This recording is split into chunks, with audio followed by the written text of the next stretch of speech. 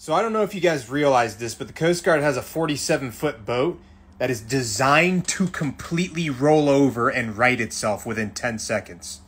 So they basically just call this the MLB, the motor lifeboat, right? It's 47 feet long.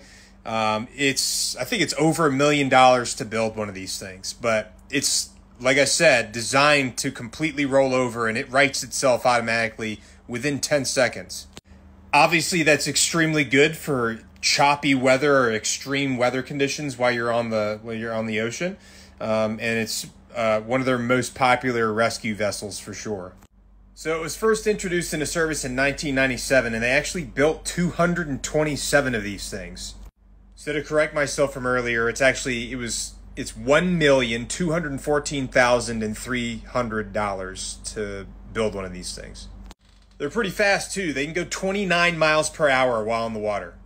And apparently you can fit 34 people on this, including the four members of the crew.